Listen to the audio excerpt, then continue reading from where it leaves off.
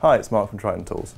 I'm going to talk you through a new feature of your Triton router, the No Voltage Release or NVR function.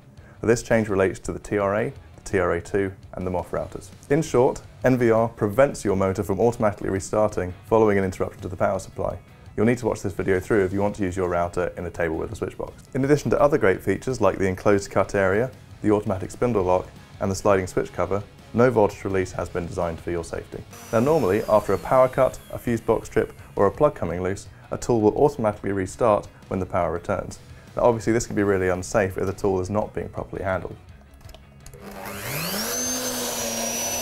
NVR is built in, but your router comes with an NVR bypass key.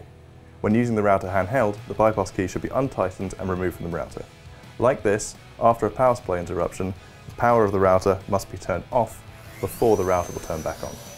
When the router is fitted to the Triton router table, or any other third-party router table where you're using a switch box, you're going to need to fit the NVR bypass key to the top of the router. Next, hand tighten the NVR bypass key into the router. This will allow the router table switch box to control the power. To recap, no voltage release or NVR prevents accidental restarts. When using the router in a router table with a switch box, have the bypass key fitted to the top of the router. Otherwise, using it handheld, have the bypass key removed.